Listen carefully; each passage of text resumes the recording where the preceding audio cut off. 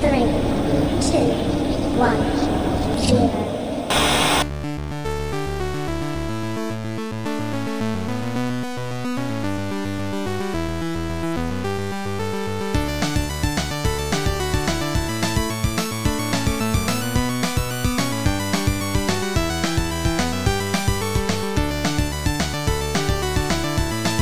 And the crowd goes wild! Wow! Hej och välkomna till episod 11 av Studio Bronx. Mitt namn är Björn Falkevik. Jag sitter här tillsammans med Joakim Nyström, Ja, ja. Ann-Marie Eklund Levinder och kvällens gäst och talare Mårten Schultz. Hej! Tja! Tja. Ehm, professor i civilrätt, eh, bloggande jurist, eh, flitig krönikör. Men varför är du här ikväll? Jag är här för att ni bad mig. Vilket är väldigt trevligt. Jag är här för att prata om eh, varför fler netokrater borde hållas ansvariga för att de sprider dynga på internet. Jag ville komma liksom här med det, ni absolut inte vill höra. Nej, inte riktigt, men jag tyckte jag skulle prata lite om integritetsskydd och regelverket kring det och på ett förhoppningsvis lättsamt sätt. Men eh, titeln var Från adelsmän till nakenbilder. Från adelsmäns heder till nakenbilder på internet tror jag, som eh, vi kommer få någon slags förklaring på eh, så småningom hoppas jag. Coolt. Ja. Eh, please take it away. Tack. Ja, integritetsskyddets dilemma är den mer övergripande titeln. Gamla regler och nya problem, satte jag. Och eh, egentligen så är väl kanske det riktigt stora problemet att det inte eh, finns vare sig gamla eller nya regler på ganska många integritetsintensiva områden. Och det finns ju egentligen bara ett sätt man börjar en föreläsning om integritet. Man börjar med ett citat ur filmen Solan där jag ser framför mig hur twittrarna går bananas när de får höra den här inledningen. Det här är Matilda som är den, eh, som är det, den sunda journalisten i Soland. Hon frågar Derek Solander, jag vet inte om du känner till det, men aboriginerna, eller vissa aboriginer tror att om man tar en foto av dem så stjäl man en bit av deras själ. Och Solander svarar så här. Well, I guess I would have to answer your question with another question. How many aboriginals do you know that models or modeling? Men grejen är ju att aboriginerna egentligen har i grund och botten helt rätt. Man tar en bit av någons själ när man tar ett fotografi på den personen. Vad innebär egentligen personlig integritet? Det har ju varit en debatt, en het debatt eh, under ganska, ja, ganska intensiv debatt under senare tid. Vi förknippar med FRA, vi förknippar med datalagring, i- Pred och lite andra saker.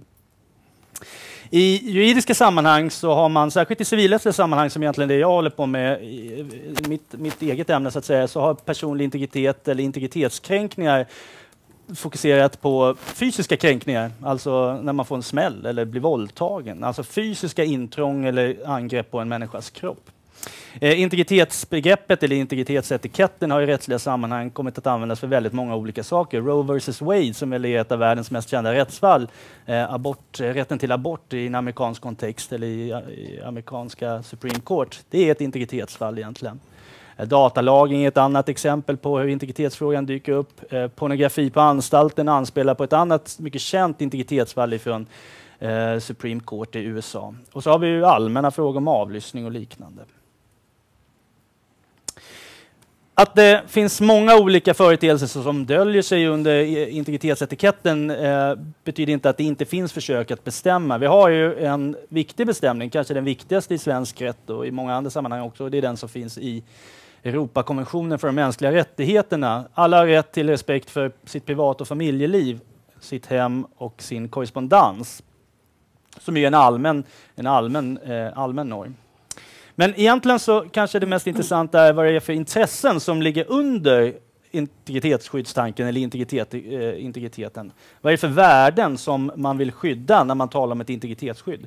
Och det brukar nu sägas, det väl, har väl kommit till att bli någon slags konsensus, åtminstone i rättsvetenskapliga sammanhang, att det inte går att hitta en enhetlig kärna utan att det är en mängd olika, eller ett flertal olika i alla fall, eh, värden som man vill skydda genom när man säger sig vilja skydda, om in, skydda integriteten. En eh, känd pluralistisk eh, forskare som har satt mycket, av, satt mycket av debatten här, det är Daniel Solovi från USA som, jag har, som har framhållit det här i lite olika sammanhang.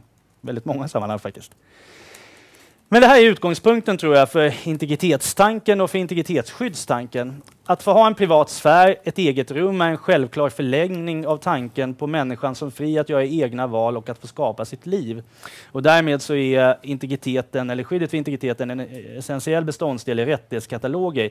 Dock kanske inte på något tydligt sätt, eller på en, inte på ett abstrakt sätt i alla fall, i den svenska regeringsformen förrän nyligen, där man har infört en, en sån regel. Det är därför som vi i svensk rätt ofta vänder oss till Europakonventionen som införlivade svensk rätt istället för att gå till vår egen grundlag när det gäller integritetsfrågor. Eh, den anses vara liksom skarpare.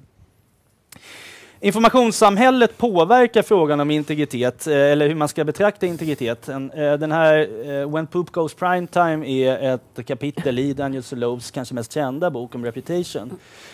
Att det blir någonting annat, integritetsfrågorna blir annorlunda i en miljö när en hundskit på tunnelbanan i Seoul var det väl, sprids över hela webben och kvinnan som har hunden på hela internet får rubriken Dog Poop Girl. det är så jävla, vad fan, internet är fantastiskt många gånger. Alltså. Va? Och i en sån här överexponerad värld, en, en fullständig, kanske inte fullständig transparens, men en masskommunicerande värld eh, med, med en, en, en, eh, om man ser historiskt, en extrem genomlysning av, av, våra, av våra privatliv, eller en möjlighet till en extrem genomlysning, så tänker jag mig att man kanske, och det här är min eget eh, förslag på några viktiga aspekter av integriteten, ett jävla knattrande. Fantastiskt. eh, facetter av privacy, alltså integritet. Eh, inhämtandet av privat information, det är en aspekt som aktualiserar, eller det är en, en, en sak som aktualiserar integritetsfrågeställningar. När någon tar in min privata information. Eh, när någon använder min privata information eh, är ytterligare ett exempel på, eller en annan facett av privacy-diskussionen. Och sen så har vi det som ju traditionellt kanske har stått i fokus för den rättsliga diskussionen, när någon ekonomiskt utnyttjar privat information. Och där aktualiseras ju hela immaterialrättsproblematiken, upphovsrättsfrågor och sånt där också inom den. Men nu, nu tänkte jag att vi skulle fokusera mer på, på rätten till ett skyddat privatliv och utifrån de här tre, de här tre punkterna. Så det här är vad man skulle kunna tänka sig att man vill skydda i integriteten. Hur information används, inhämtas och hur den ekonomiskt utnyttjas. Man, det, här är bara, det här är bara ett axplock. Man kan tänka sig många andra aspekter också, men jag tänkte att de här tre kunde vara fruktbara för den här diskussionen. Integritetsskydd. Om man vill skydda de intressen som ligger bakom de här tre punkterna, hur ska man då gå tillväga? Ja, det beror på vad man menar. Eh, den största och viktigaste delen av vårt integritetsskydd är ju sånt vi ägnar oss åt själva. Vi, jag, jag ställer mig inte på torget och skriker jag har gonorré, för det är inte, det, det är inte, det, det, det, det, känns inte lämpligt. Jag har inte det, internet, så vitt jag vet. Do it yourself, man får skydda sig själv liksom. Men den, eh, eh, det allmänna samtalet, och eh, framförallt i det rättsliga samtalet, eh, handlar ju om det offentligas skydd för integriteten, eller hur offentligheten har en plikt eller en skyldighet, det allmänna, att bistås med ett integritetsskydd. Och det offentligas ansvar i integritetsskyddsdebatten är i praktiken ofta sammankopplat med juridiken. Och väldigt mycket av de integritetsdebatter vi har haft på sistone har ju egentligen varit eh, juridiska debatter. FRA-debatten till exempel har ju varit en väldigt mycket en strid om juridik, eh, eller en diskussion om juridik i alla fall. Det handlar om regler, om normer för att och sådana normer kan vara generella och speciella. Vi har eh, den norm som jag nämnde tidigare, regeln i, eller artikeln i Europakonventionen för de mänskliga rättigheterna, som är en helt generell, eller en väldigt generell i alla fall, eh, integritetsregel. Eh, men vi har också den svenska modellen kan man väl säga, att man har pytsat ut eh, olika integritetsskyddsregler här och där.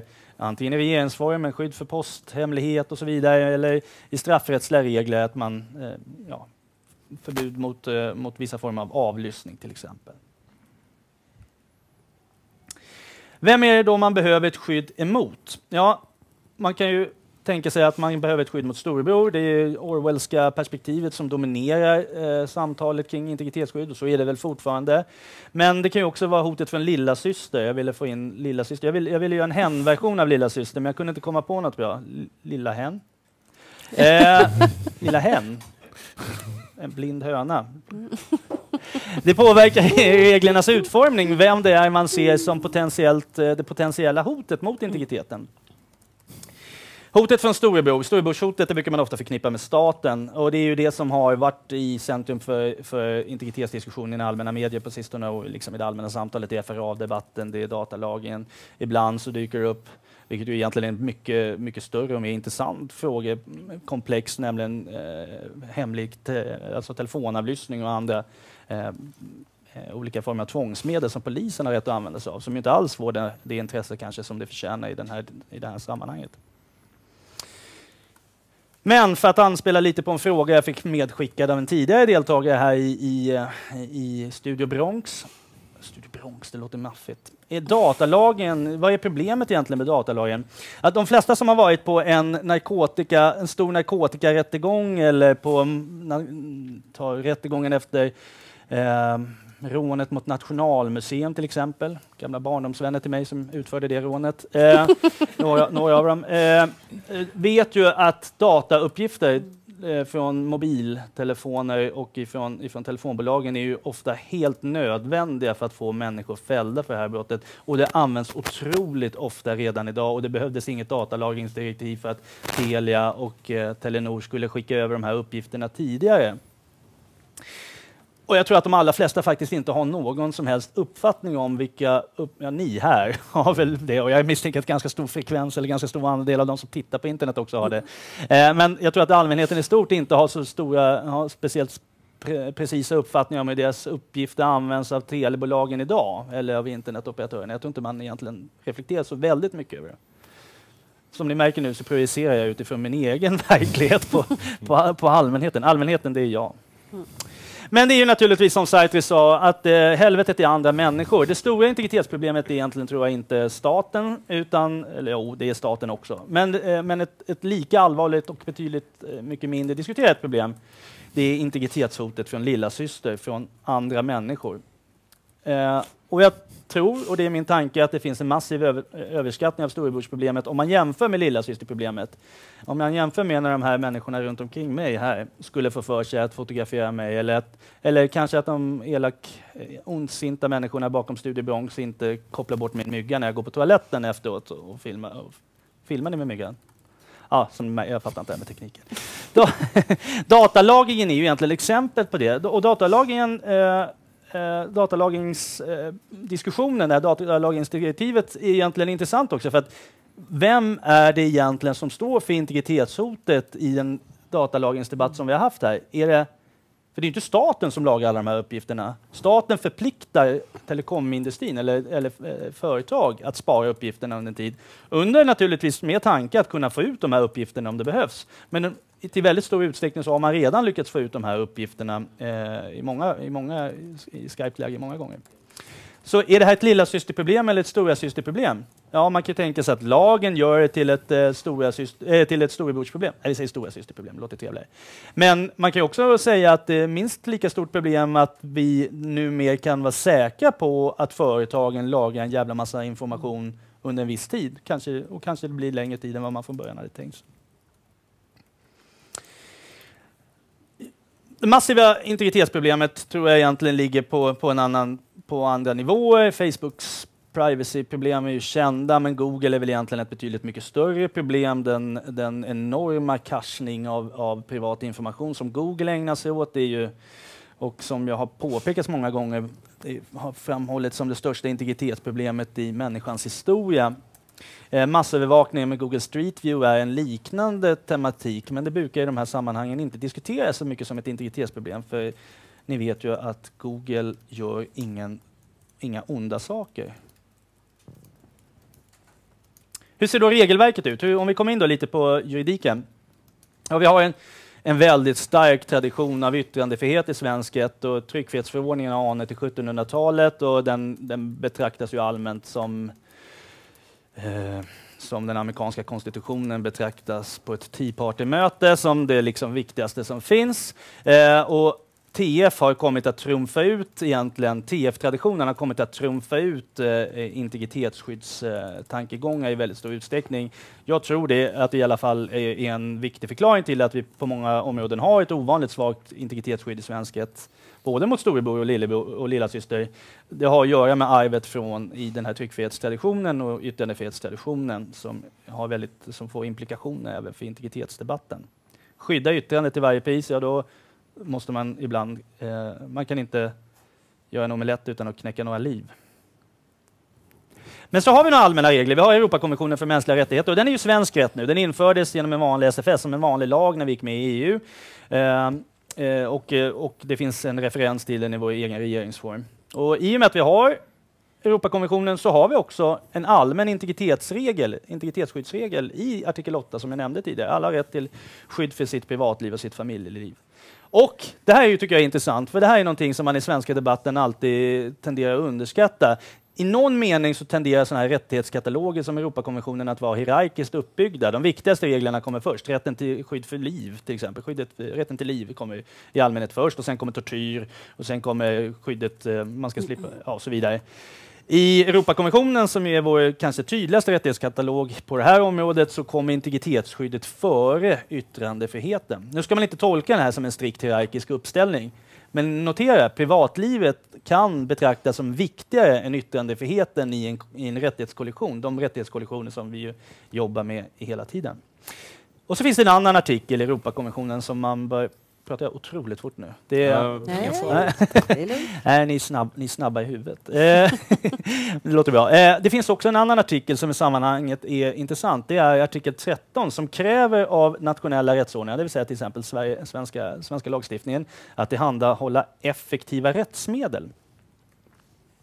Och vad innebär det här? Jo, det innebär att staten, den svenska staten måste garantera sina medborgare eh, eller invånarna i Sverige juridiska verktyg som man kan använda mot, även mot lilla syster när lilla syster kränker mina rättigheter under artikel 8, det vill säga när integritetskränkningar sker av enskilda, inte bara av staten. Så det finns en dubbelhet här genom artikel 13, genom att staten har en skyldighet att ha effektiva rättsmedel också mot andra privaträttsliga rättssubjekt, säger vi, eller som ni kallar dem för, personer.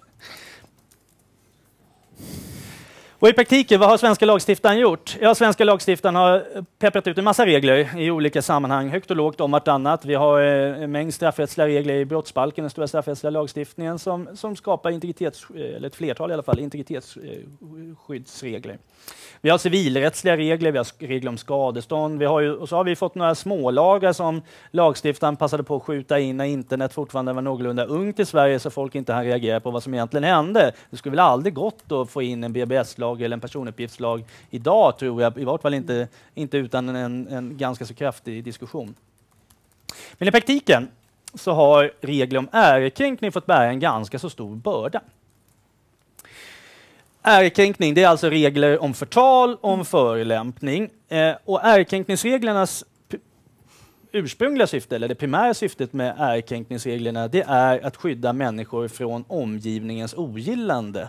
Det är ärekränkningens, eller, framförallt, eller förlåt, förtalsregeln som är en, en del av ärekränkningskomplexet. Förtals Förbud, förbudet mot förtal och möjligheten att få upprättelse om man har blivit förtalad syftar inte egentligen till att skydda mig från att må dåligt av att människor förtalar mig, utan det skyddar mitt rykte i, för, i omgivningen. Det är adelsmannens heder som står på spel, inte hans känslor. Mm. Integritetsskyddet har ju egentligen en annan det är egentligen en annan aspekt. Det har handlar, handlar om individens rätt att själv kunna få kontrollera olika saker som hör till privatlivet. Sin information till exempel, om vi tar en informationskontext. Eh, och jag blev medskickad en annan fråga av Janne Kallberg här för, som var här förra gången. Det här om ändamålsglidning och ändamålsförfalskning. Det, det här, eh, förtal, hur förtalsreglerna har kommit att användas i en informationskontext återspeglar egentligen den tematik som Janne tog upp, nämligen att man använder sig av en regel som inte primärt var tänkt att skydda integriteten i brist på annat. Garderobsorg. Man tar det som funkar. Man får sätta fracken på sig när man går till 7-Eleven för man har ingenting annat. Och så har det blivit lite med förtalsregeln. Man, man, eh, garderobsorg är ett sånt fint gammalt ord. Ja. Eh, eller Underbart. Ja. Antecknar och spar. ja, eh, och, det, och, så har det blivit lite med, förtals, med förtalsregeln. Och det kan ju ge rätt så konstiga effekter. Det här är en, bland jurister en klass, ett klassiskt integritetsfall, 1992 års fall.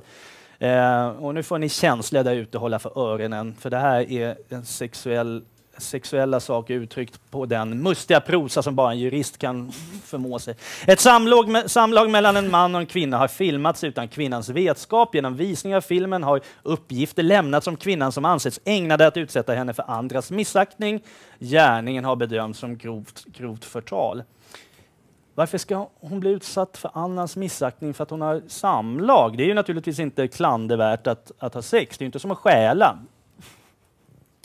Jag pausar nu för att republikanerna där ute, ska, de amerikanska republikanerna ska kunna ta ett djupt andetag. oh, sex! Ja. Fan, synd. Eh, men nej, då fick HD, då fick HD köra en, eh, ta en omväg. Ja, det är inte klandervärt, man blir inte utsatt i den bästa världen i alla fall, för andras missaktning för att man har ett sexuellt umgänge med någon annan. Men si, man kan få intryck av att kvinnan ville bli filmad och att det skulle spridas. Och det är ju ganska så pervo, eller hur? Och därmed, eftersom det är det intryck som eh, den här spridda, eh, spridda, den spridningen av den här filmen gav, ja då är det ju förtal, för det gav intryck av att hon egentligen var någon slags hemmapornograf. Så här märker ni att det, vad som egentligen är problemet här, det är ju kvinnans integritetskränkning. Eh, men man måste få in det, eller HD tyckte att det var viktigt och jag kan man inte, det tycker jag var bra HD, att hitta någon regel för att sanktionera det här, för att göra det till ett brott. Och då fick man gå den här omvägen om förtalsregeln som egentligen passar ganska så dåligt. Och det här illustrerar då som det som var rubriken på det här, eh, på det här webbinariet. Adelsmannens heder. Med, du, greven ägnar sig åt tjuvjakt förfärligt. Det är ju liksom den typen av problematik man kanske i första hand, åtminstone traditionellt, har tänkt sig bakom ärekränkningen. Men idag så är ärekränkningarna de kränkningar, ärekränkningar som, som präglar eh, den juridiska debatten av ett helt annat slag. Det är sexfilmer och sexbilder och liknande bilder som sprids ofta i sociala nätverk, ofta på ganska unga människor. Och här har det svenska rättssystemet kapitulerat kan man säga. Det är till exempel så att eh, brottsskadeersättningssystemet inte ger ersättning för ärekränkning, vilket då missar många väldigt allvarliga kränkningar av unga människor om man jämför med betydligt mycket lindrigare kränkningar som ges ersättning för, som inte har, hör till ärekränkningskomplexet.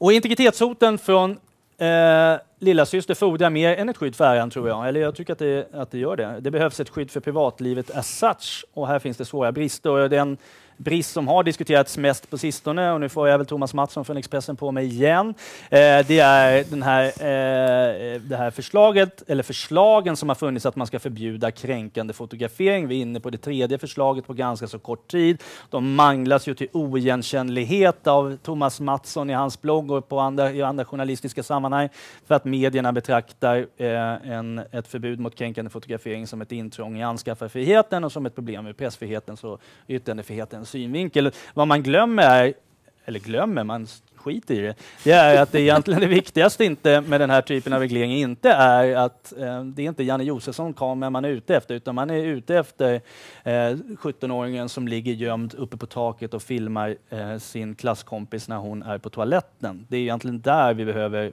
primärt, eller det är, där, det är det viktigaste området där det behövs ett skydd. Dog Poop Woman, det är hon som behöver skydd. Eh, men i omfattning så är väl egentligen kanske ett större integritetsproblem idag kombinationen av ett antal faktorer, nämligen möjligheten, den betydligt mycket större möjligheten att få vara anonym, att masskommunicera, att sprida och möjligheten att därmed genom de här olika faktorerna undgå ansvar. Det traditionella eh, integritetsskyddet, eh, har, eller integritetsskyddet har ju traditionellt ofta kommit att diskuteras inom ramen för mediekontexten och då har man ju ofta ansvariga utgivare, för pressen, tidningarna har ansvariga utgivare. Då finns det ett utpekat ansvarsobjekt och det finns modeller för att utkräva ansvar för. Men i en, eh, en, eh, den masskommunikationsmiljö som vi befinner oss i idag så är det väldigt lätt att undvika den här typen av ansvar och det är ju delvis kanske en, en, kan ju delvis vara bra också. Men det leder också till att de ansvarsmodeller som vi tidigare jobbat med har urholkats och eh, kommit att tappa delvis sin, sin eh, funktion i, i de här nya kontexterna, eller nya, men halvnya kontexterna. Så, vad har vi då? Vi har, ja, vi har ett krav på effektiva, och notera då, effektiva rättsmedel ska man kunna ha ska vi som medborgare eller invånare ha tillgång till mot eh, integritetskränkningar som lilla syster, det vill säga det helvete som vi andra människor kan utsätta oss för. Inhämtande av privat information, användande av privat information och ekonomiskt utnyttjande av privat information, som ju bara är en exemplifiering. Och då vet vi att vi i svensk rätt eh, ofta saknar ett skydd. Eh, skyddet mot kränkande fotografering, skyddet från att någon fotograferar en kvinna under kjolen i tunnelbanans rulltrappa till exempel. Här i Skärmarbink så finns det inga rulltrappor. Men om man åker lite längre in mot stan så finns det rulltrappor. eh, och där finns det inget, idag inget, inget, inget, eh, inget straffbud. Och i och med att det inte finns något straffbud så finns det inte heller något skadestånds, eh, någon skadeståndsmöjlighet, förmodligen i alla fall, eftersom skadeståndsmöjligheten, möjligheten att få individuell upprättelse, det är det vi jobbar med i skadeståndsrätten, eh, är så hårt knuten eh, i svensk rätt till eh, straff, eh, straffrättens regler. Eller ta eh, de eh, samlagsfilmerna för att använda sig av HDs eh, eh, kanske inte superupphetsande lingo, eh, där det också ofta saknas eh, regler för eh, att kunna få sanktionera. Så för att återvända till Derek Zoolander. När man tar en bild av någon på toaletten eller i en sexuell situation eller i många andra situationer och så sprider man den eller säljer den eh, så tar man ifrån en människa någonting. Man tar ifrån människan hennes värdighet. Och det är en grundtanke bakom integritetsskyddet. Och det gäller även om man är en supermodell. Ja. Så. Tack. Blir ni illamående? Ska vi ta den här, ska vi ta den här en gång till? Baklänges. Ja, kolla. Ja, sådär. Nu spyr folk. Tack. Tack så mycket. Tack så jättemycket. Alltså, jag har direkt en fråga. Alltså när du säger Ja, lill, lilla syster, vad menar du då? Jag- menar det som inte är staten. Jag menar... Vi andra. Vi, ja, du. Jag menar dig. Han. Jag menar lilla syster dig. En. Jag menar Majsin. Ni är lilla systrarna. Mm. Cool. Jag vill bara dubbelkolla. Ja, mm. nej, men Nej, jag... men det, det, det går väldigt bra in på mitt boktips sen. Ja, ja, men just för det. det där är ju lite, ofta är man ju fundersam över att integritet diskuteras i termer av staten mot individen, medan i själva verket är oändligt mycket nä- värre många gånger drabbas av liksom, det här Alltså, rent mänskliga. The crowd. Liksom. Det, ja. Eller dess föben, som Men vi kallar den jag förr Jag måste bara återkoppla till någonting du sa, ehm, det här med effektiva rättsmedel. Alltså det verkar ju ändå som att man kan gå i, rätt, i land med rätt mycket utan att bli prövad eftersom det nu saknas regelverk. Samtidigt, med all respekt för det juridiska kollektivet och alla är inte bloggar och använder inte internet och många av de här som sitter i Högsta domstolen skapar ju, alltså vad de säger, det blir ju mer eller mindre hugget i sten. De skapar rättspraxis, eller hur? De tolkar regelverket och förklarar för andra jurister som inte sitter i Högsta domstolen hur man ska agera i olika fall. Är det inte risk för att det hamnar riktigt snett? Alltså, eller är de så kloka så att de tar in... Ja, de är gudomliga. De är det? Mm. Härligt Nej men, ja, nej, men, nej, men det kan man väl inte säga att de har hamnat snett. När det gäller möjligheten att bestraffa människor för integritetskränkande åtgärder så finns det ju en grundprincip, nämligen att man ska aldrig straffa någon om det inte finns ett klart och uttryckt lagstöd för det. Så där, där finns det en presumtion för att fria. Jo, Hellre fria än fälla, vilket ju gör att... exakt. Och då hamnar vi i det här med, med våldtäktsmålen till exempel som ibland blir omdiskuterade där ja, men hon var ju ändå så lättklädd eller hon hade ju ändå tänkt att gå hem till dem. Eller, alltså, för där finns det ju klart och tydligt uttalat du ska inte våldta folk. Punkt. Nej, det ska vi inte... Nej, och så precis. blir det ändå är omdiskuterat och så blir folk friade. Ibland kan man tycka, men det kanske är pressens bild, att mot bättre vetande. Men Nej, ja, nej, men kan det, är bli nog- samma sak här? Ja, ja, det kan det göra. Men här är, här är problemet att det inte finns regler. I våldtäktsfallet så är problemet att man inte kan bevisa. Så där är det ett, ett Okej. empiriskt problem, men här är det ett rättsligt problem också. Eh, alltså en Mm. fråga om vilka normer som finns. Så. Men Mm. visst, men det är ju egentligen oskulds, oskuldstanken slår ju igenom på flera plan, så det är ju egentligen samma, samma typ av problem. Mm. Ja, för det kan ju vara så här, ja, men hon åkte ju rulltrappa utan trosor, det är klart man får filma det. Ja, det Eller hur? Varför gjorde hon det? Hon Ja. ville ju bli filmad. Ja, kan nej, inte det få klart. samma läskiga, konstiga diskussion? Jo, det kan man väl få. Ja. Fast den diskussionen förs ju inte i domstolarna. Det är ju, domstolarna säger ju inte, det är ju en, det är ju en eh, tabloidtolkning. Nej, du säger de, de har en lingo som är fantastisk. Ja. Mm. Men vad, är- vad är det svåraste just eh, runt kränkningar? Är det liksom att, att den, den som eh, fångar upp eh, kränk, eller ja, publicerar kränkningar eller de som sprider det? Eller vad? Vad som är liksom Ja. det som är mest kränkande så att säga. Ja, Ja, det beror ju på. det beror ju på liksom. Eh, man, mång, ja, alltså FRA-lagsdebatten och i viss mån även datalagringsdebatten har ju fokuserat väldigt mycket på att själva informationsansamlandet i sig är integritetskränkande även om det inte används. Eh, för, Ta datalagringsdebatten till exempel, datalagringsdirektivsdebatten. Tänk att få lägga det på Wordfeud. Eh, eh, den har ju kretsat 500 väldigt- poäng. Eller hur? 500 poäng. Triple word.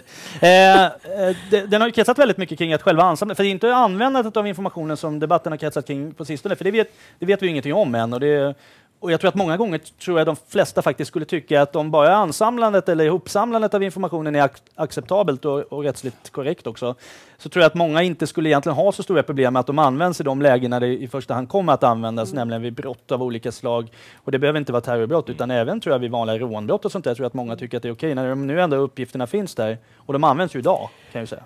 Är det inte det som är problemet? Att just uppgifterna finns där? För jag brukar förespråka att den information du inte har kan du inte heller missbruka. För det är ju frestande, Sant. naturligtvis. Om, man, om man nu har möjligheten, man har samlat på sig all den här informationen.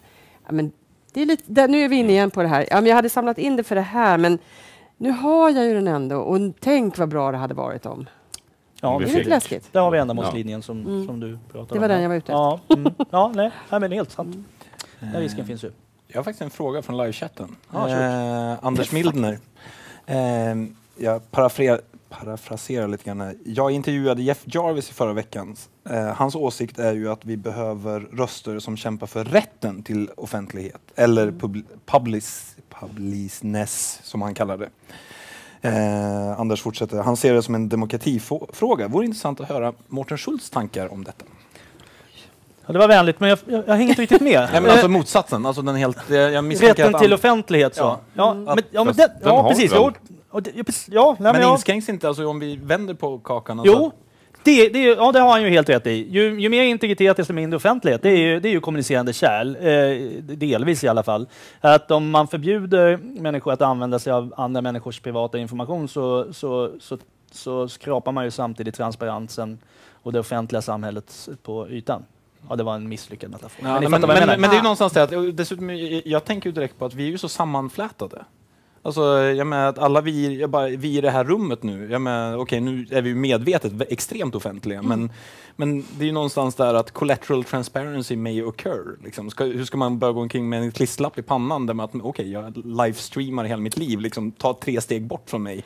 Ja, men är inte det lite, Niklas Lundberg skrev ju en bok, The Noise Society, som handlar just om att ju mer du brusar själv, desto tydligare blir signalen om just dig, att det är du som håller i, i sändaren. Och det tror jag kanske är en tanke i det samhälle vi lever i idag. Det jag går liksom inte att ducka. Vad glad jag är att du tog med Niklas eminenta bok där i sammanhanget. Ja, ja men så vi är det väl. ett boktips, jag visste För det. Jag vi inte som har läst den då, vad är det för bok? Det är hans avhandling väl? Nej, det är nog Nej. en bo- ja, jag- Jag ska låta det vara osagt. Kan ha varit. Ja. Nu är jag lite dåligt påläst just det. Vi har läst Ja, boken. ja.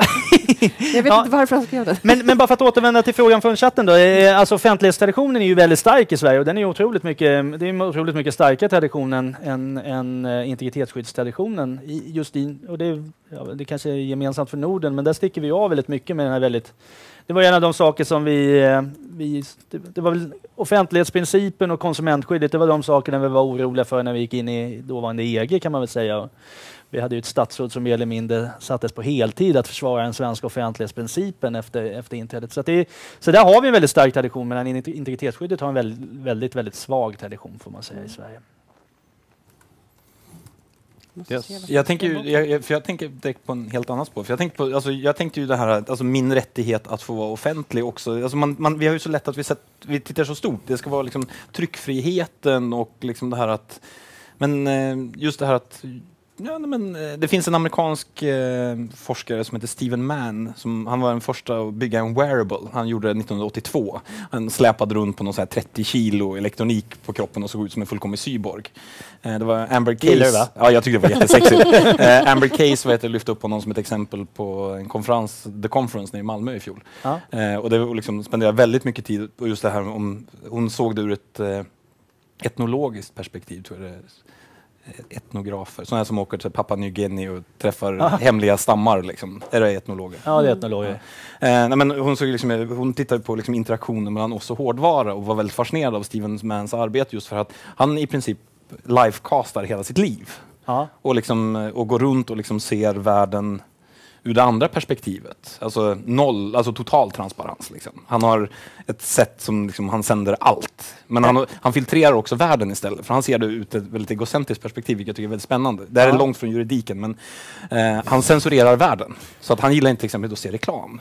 Så hans glasögon filtrerar bort allting som den identifierar som reklammeddelande och så lägger det upp hans textmeddelande, hans eh, meddelande från frun och så brukar han stå och skriva sina avhandlingar när han står och väntar på rö- rödljuset för att då kommer det upp på vad heter det, billboardsen runt omkring honom. Eh, Men det är fortfarande det här att jag är lite fascinerad, alltså, vi- vilken rättighet väger tyngst? Din att få vara privat eller min att få vara totalt offentlig? Alltså, Ja, men då- och där det- finns det väl ingen konflikt? Ja, men när du ställer dig bredvid mig Jaha, du menar så? Ja, ja, just det. Jo, det jag, jag, ja, jag mm. ska, alltså, då, då tränger ju min offentlighet in i din privata sfär. Ja, det är ju omöjligt att svara på. Eh, Alltså, det, det, alltså på ett generellt sätt. Jag- Däremot så tror jag att eh, en, en eh, poäng är... Kolla Twitterflödet här bak. Eh, det, det kan vi inska slänga in Freud i diskussionen. Det, det, you're not really helping my sin. Men, men, men det är ju naturligtvis så. En, en, den enda poäng jag skulle vilja göra i det sammanhanget är att avvägningen mellan vilken rätt som ska väga tyngst måste alltid göras i det individu- individuella fallet. Och det är liksom i den situationen när du står med tusen webbkameror som du har monterat på hela din Syborg-liknande och förmodligen mycket muskulösa kropp. Eh, och eh, så står det... mycket. Ja, ja, eh, och, eh, och, och i den konkreta enskilda situationen, vilken rättighet ska väga tyngst i den situationen?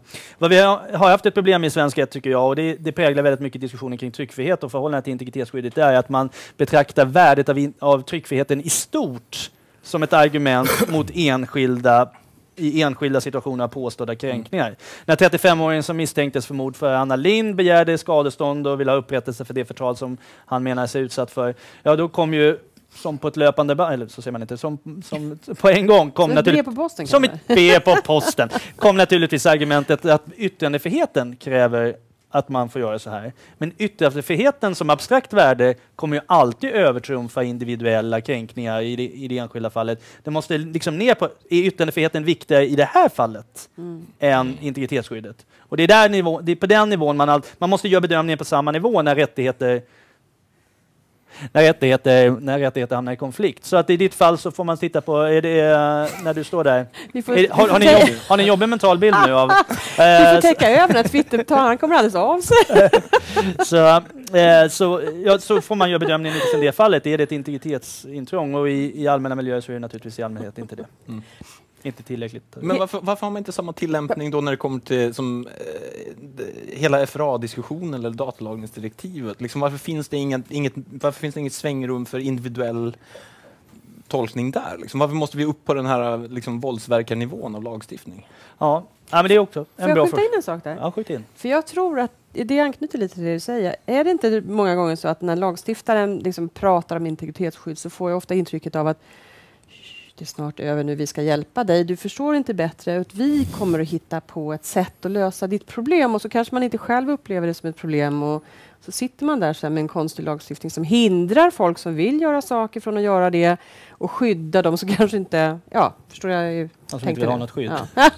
det vart ju fel där. Vi som vill ha. Ja. Ny förening. Ja. Men förstår du tankegången där? Nej, inte det- riktigt. Lagstiftaren ser många gånger ensidigt, känner jag det som. Alltså man har perspektivet, vi vill in, egentligen så vill ju inte lagstiftaren att man ska kunna vara anonym helt och fullt. Känns det som ibland? Eller är det olika? Du har läst för mycket 1984. Är det så? Ja. Okej. Nej, ja, ja. Nej, men det tror jag att... Ja, no. Eller olika skolor kanske? Olika genrer, har ni det inom? Ja, nej, men lagstiftaren är väl väldigt generös med människor som vill vara anonyma på nätet och göra saker, får man väl säga. Vi har ju ganska lite möjlighet att eh, idag tvinga fram transparens i, i, i digitala kommunikationsmiljöer. Jag kan, inte, jag kan inte, det finns inga rättsliga möjligheter för mig att tvinga Flashback och, och säga vem det var som sa att jag hade en dålig föreläsning i Uppsala. Men jag vill bara att jag vill bara att ni vet att jag minns det och, och, och jag har lagt det här på, min, Mm. på mitt arkivskåp. Ja, Nej, nej, det var en dålig fråga. Jag tar tillbaka. Nej, nej, det var ingen dålig fråga. Eh, jag vet nu att eh, Patrik vill eh, ställa en fråga. Eller ett påstående eller någonting. Det är faktiskt, det är faktiskt två saker eh, som jag skulle vilja fråga. Då. Det första är, du pratade om Mårten, att integritetsskydd har lågt värde eller ingen tradition i Sverige. Är, är det inte så att folk, folk förstår inte det riktigt? För det känns lite grann som folk tror att vi har en god tradition och gott integritetsskydd. Så min fråga är då, för att bygga vidare på det, när vi inför lagstiftning och så, vem är det egentligen som har ansvar för att göra den korrekta liksom, balansen i beräkningen av vilket intrång som vi accepterar? Är det liksom bara de få personerna på grundlagsenheten och justitiedepartementet som ska göra liksom, rätt kalkyl och, och så har de resten av regeringen emot sig? Det är den första saken. Liksom. Hur, hur, hur är det egentligen meningen att den här beräkningen ska gå till i Sverige, även om den är svag? Då? Den andra frågan är att en hel del av diskussionen i media i världen är ju till exempel vilken lagstiftning vi ska ha, vilka verktyg som vi ska ge lag, lagvårdande myndigheter som SOPA och sådär. Och då pratar man mest om vilka verktyg man ska ge dem. Alltså, om jag förstår allting rätt så kan ju regler vara antingen att man förbjuder någon att göra något eller också tvingar man någon att göra något. Men till exempel vad gäller borttagning av domännamn då, vad gäller SOPA och pipa så, är det ju då, så pratar man om lagvårdande myndigheter, vilka verktyg de får att kunna ta bort saker och ting. Men vi diskuterar inte så mycket vilken typ av regler som finns som förbjuder till exempel en registry att ta bort domännamn. Idag tas det bort väldigt, väldigt många domännamn som det inte pratas om. Så att den mängden domännamn som tas bort i, i världen är ju liksom Inte i Sverige då? ofantlig. Nej, inte i Sverige, det är riktigt. Men det är offentligt få jämfört med vad som händer i andra länder. Mm.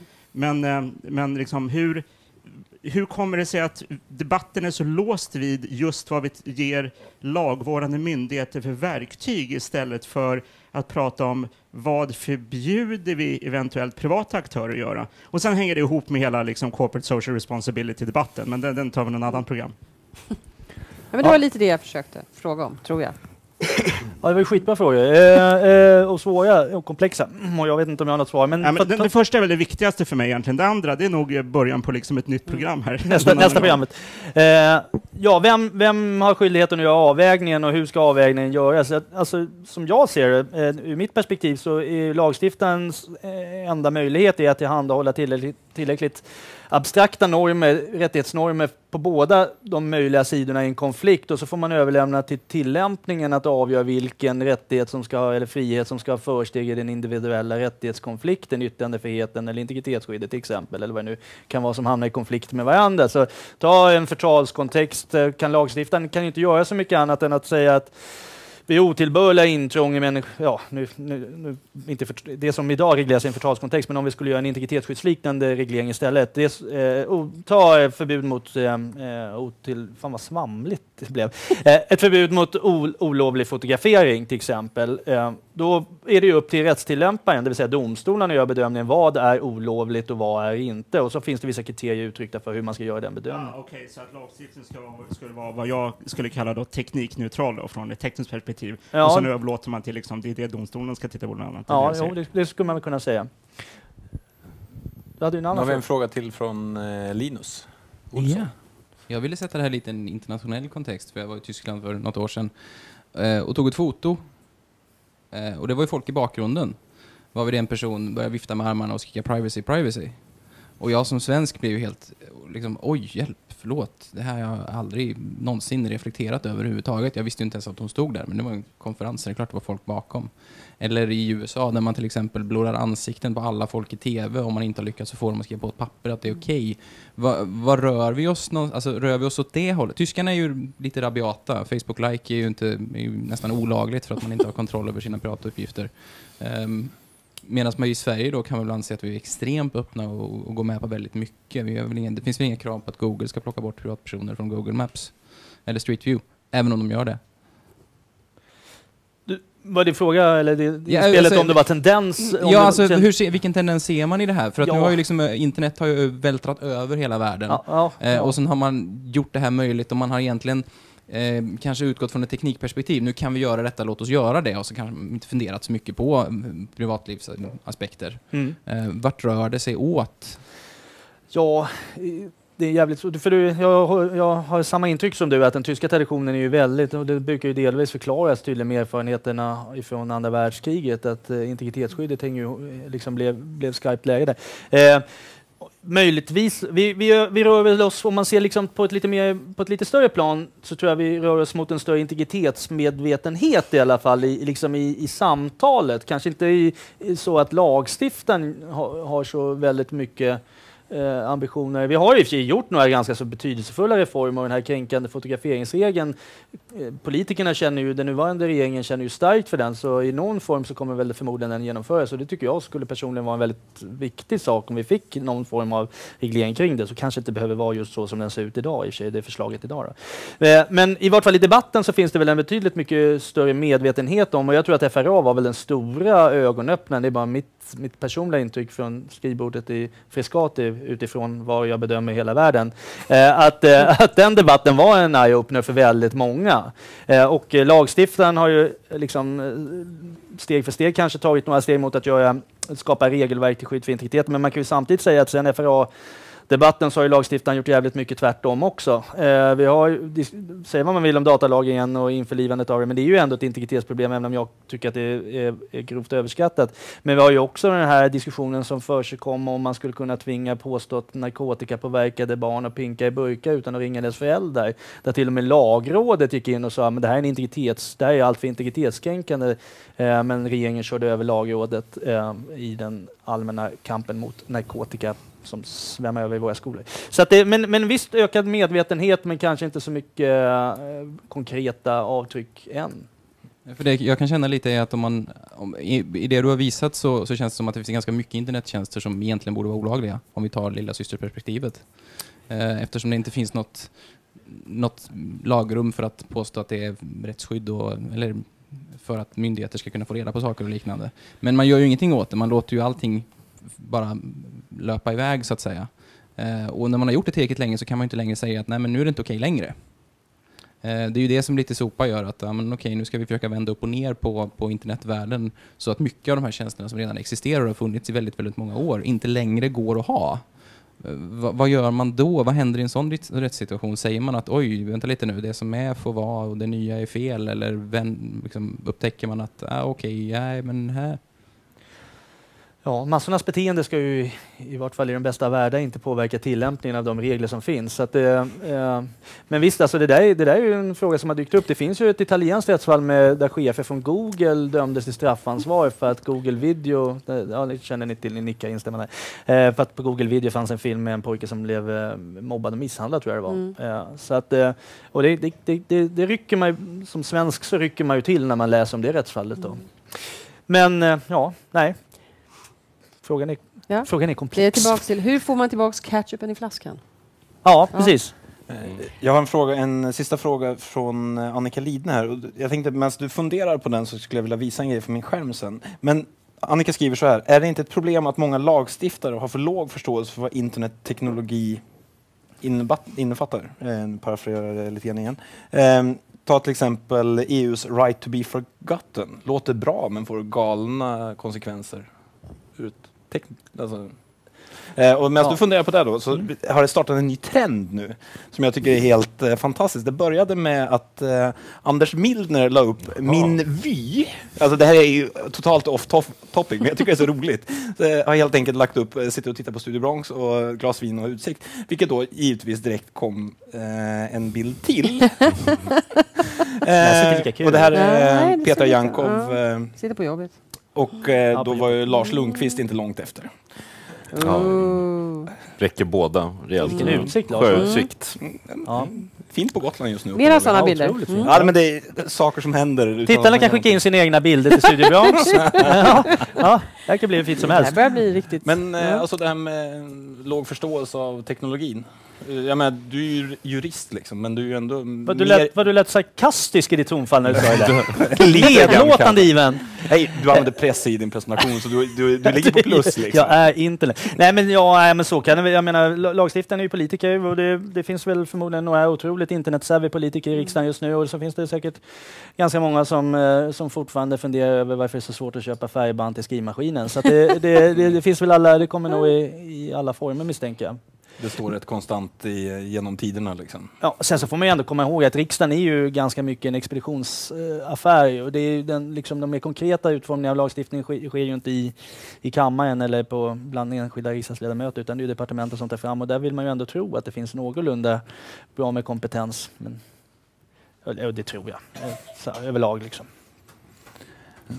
Men Oj, Men sen så naturligtvis så kan ju politiker ha åsikter som eh, ett internet, eh, en internetkommunitet tycker känns helt bisarr, som man tycker känns eh, 1700-tal. Eh, så, så är det ju naturligtvis. Men eh, några fler tankar, funderingar? Eller ska vi... Eh, Nils, vi Nils, vad som hände på. Tekniska museet den här veckan. Så... Jättebra, Ja. intressant. Skål! Skål! Skål Ja. Skål i, i kolsyrade drycker. Då rullar vi Nils.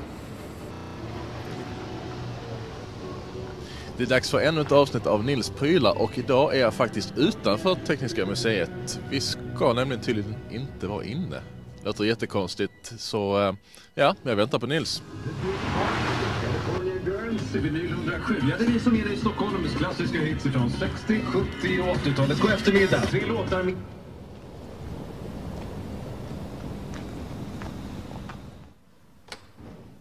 Så, bra! Fryser du?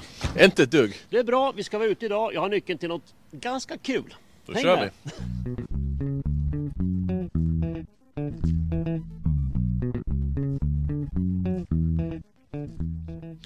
Nils, eh, var är vi? Vi är vid den optiska telegrafen på Gärdet. Alltså det här är en eh, telegraf som kom igång 1794 och titta hur den ser ut där uppe. 13 meter hög. Alltså stora problem att klättra upp dit. Ni ser att det går vajrar upp. Det är tio järnluckor som går att vippa åt det ena och andra hållet. Nu är alla uppfällda. Nu är det svårt att se dem. Tippar man ner dem är de lättare att se. Och det var det som var kärnan i den optiska telegrafen från 1794. Så, nu är vi inne i optiska telegrafen och här har vi en kikare. Så här kunde man se till nästa optiska telegraf. Just det, där borta är den. Som det här arrangerat, det här var ju 200-årsjubileet då, 1994. Då hade vi en optisk telegraf uppe på Skansen på Breda Blick. Och så signalerade de ut till Tranebergsbron och ut till Drottningholm. Men grejen då, det är att de här luckorna här uppe, de går att reglera med den här regeringen som det hette. Så att man kunde liksom för nollställa de här grejerna. Jag har inte kört det på många år här. Man kan fälla upp dem, nollställa dem och så fäller man ner dem och så skjuter man in dem här. Och sen trampar man på den här trampan och då går luckorna då är det två luckor där uppe som fälls ner. Och de här tio luckorna de bildar alltså ett mönster och sen sitter de med en sån här sjörövarkikare. Man ser alltså upp och ner uppifrån Skansen och då tänker man jaha, de två luckorna är nedfällda. Det betyder... Och så bläddrar de i sin telegraftabell. Här har vi en uppställd förresten. Och så såg de att det betydde någonting. Vad som är extremt kul med de här då, det är att det här är ju alltså 10 luckor, det är ett digitalt system. Det är ju liksom antingen ser man luckan eller ser man dem inte. Och 10 luckor har man Två luckor går, alltså en lucka på två sätt, två luckor på fyra sätt, tre luckor på åtta sätt, tio luckor på 1024 sätt. Så att det, är lite, det, det är faktiskt lite roligt då att det här är ett digitalt system. De ändrade det här ungefär. De som var duktiga då kunde få det här att rulla så att var sjätte sekund hade de en ny inställning. Och de har tio luckor och då kan man säga att då gick det... Oj, nu har det fastnat här för mig. Då gick det alltså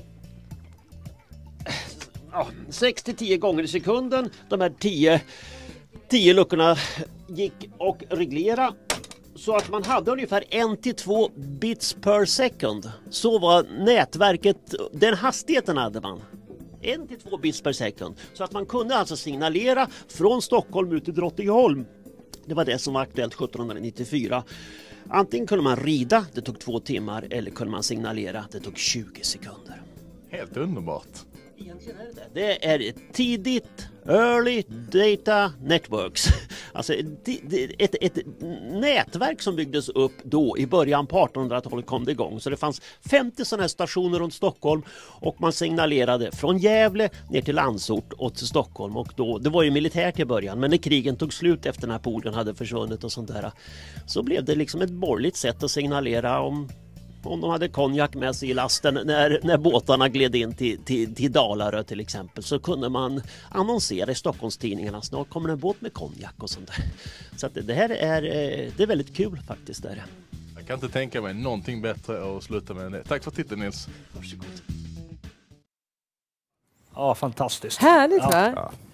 Hur många bit sa han att det var? 1024 max. Max. Mm. Nej, Två- Nej, det var ju tio. med Så det- 10 tio flupp, så fluppar. Ja. ja. Men det var binärt. Antingen ser man luckan eller ser man inte luckan. Förstår ni? Det är ett eller noll. Antingen konjak eller inte. Mm. Ja, Nils är bäst. Jag hoppas få träffa honom nästa vecka. Eh, boktips. Det är inte min tur! Nej, jag har faktiskt... Eh, nu har jag bok nummer, bara, bok nummer två med mig i serien. Och det här är, heter Freedom av en amerikansk författare tror jag, som heter Daniel Suras. Och eh, första boken, om du lägger upp min skärm, så eh, ser man första boken och hans namnstavning vågar inte jag mig på. Men det var just det här att eh, det som är häftigt med den här boken, det är att den är Daniel här är faktiskt en geek. Så när en geek skriver en bok så blir det liksom på temat att han utgår från teknologin och svänger sig runt med så här TCP-IP-paket över internet som man kanske inte som en vanlig människa direkt refererar till vad är det här? Eh, men det blir otroligt spännande för det öppnar upp en jättemassa andra aspekter av samhället som vi inte är beredda på. Eh, och den, det, är ju någonstans det här, the crowd, liksom. Alltså när saker och ting blir så... Det centrala är ju liksom den stora massan människor. Och när, när det inte blir den här en fix punkt. Och jag, det, det, jag satt och tänkte på det jättemycket just under, un- när du pratade. Liksom att det är helt, vi, det, vi är väldigt förtjusta i, i, i dagens samhälle och allting vi gör med de här med fasta punkter. Och liksom, vi behöver verkligen att, eh, om man tittar på hur vi enforcar saker med polis, och då ger vi oss ju på med musklerna på den specifika punkten. Men när det är ett nätverk och det är utspritt och det är, liksom, det, det, det är väldigt flytande, då, då blir det jävligt jobbigt. Och få vårt, na naturliga, eller vårt samhälle att fungera och hantera de här sakerna. Och, eh, men det här är ju liksom en ren fiction. Men det satte igång väldigt många skojiga tankar i mitt huvud. Eh, och så, som jag gillar science fiction då, så blev det ju jättebra. Så jag vill bara Härligt. passa på. Läs den här. Eh, och den... Eh, Hur många delar var det sa du? eh, Två. Det här är Freedom som är del två. Och Demon. Och då, och då är det ju givetvis då datademon-stavningen. Daemon. Som är den där eh, bakomliggande saken som är i alla system och meckar. Så, för fan. Få den. Få den. Mm. Det finns på Kindle, of course. Sen smög jag in ett boktips också genom eh, Niklas bok där, så den kan Mm. man gott kosta på sig att läsa. Det är gratis tror jag på webben. Dessutom. Eh, men eh, får ett tips här från att Annika, Annika Lidne. Studiebronx måste puffa för Jeff Jarvis, Public Parts. Mhm. Och, eh, och det, det, det en, han gjorde en otroligt bra dragning på webbdagarna i torsdag förra veckan. Eh, där han just tog upp det här exemplet med att han, han i, i sin presentation så tar han upp det ur ett exempel att han blir angripen för att han You're oversharing. I don't wanna hear about your private parts. Liksom. Okej. Eh, och eh, då var Jeff Jarvis motargument var ju No, you're over-listening. ja, men, bara för att det finns där ute så... är man liksom så Fast är inte det lite så här luften är fri? Ja, jag Men sluta, du behöver inte Typ, kolla. eh, Ja, precis. Nej, men det är ju typ någonstans Men så... för fan, unfollow då. Ja, precis. Det är ju det som är möjligheten. Men det, det finns fortfarande... Ja, men det, du vet när någon går in och trollar i, i någon hashtag eller så. Spamblock. Ja, jo, jo, man kan ju alltid sätta egna filter. Men, ja. finns ju tek- alltså, för de grejerna Nej, finns ju det faktiskt Det finns ju faktiskt lösningar. teknik för det, så det är ju Ja. inte helt omöjligt. en gångs sen- skull funkar ju Sen teknik. kan man ju ha en, en sorts em, patos att man, att man är villig gå in i den typen av diskussioner för att man försöker förstå, som du säger, att liksom, varför reagerar den här människan som, som den gör på det jag säger eller skriver. Och då har man ju en annan situation. Då gör man då det ju på något sätt med berått mod. Liksom. Ja. Precis. Men, men just det här att kunna stänga av brus. Herregud, har man haft fyra barn då vet man vad det innebär. Ja, men det, känns, men det låter, det låter ja, uppmuntrande. det kommer. Ja. There's an app for that. ja, precis. Jag, jag behöver den talat, det räcker med föräldraappen. en liksom. Ja. Ja, är det Mm. Härligt. Det är helg nu så jag bara... Det är Ja. härligt, va? Mm. Men ska vi tacka Mårten eller och gå vidare? Ja, Ja, vad tycker tack. Mårten? Ja, ni behöver inte tacka mig. Det är jag som Varför ska tacka. dig? Jag kommer nämligen äta upp den där chokladen sen så fort ni har stängt av de här kamerorna. Härligt. De åtta kilona choklad du har bullat upp med där. De är mina. It's all yours. Mm. Ja. Men eh, nästa vecka så blir det Nicke Lindqvist kommer hit. Ett Nicke och berättar om eh, vid, Det han gör helt enkelt. Ja, nej, det var, han var med i en dokumentär. You're Eh, googled. Ja, du ja, är ja, googlad. ja, Eh, och eh, där han bland annat tvättade Johan Rep- Repås eh, Google-resultat, eller hjälpte Johan att tvätta sitt Google-resultat, ska jag säga.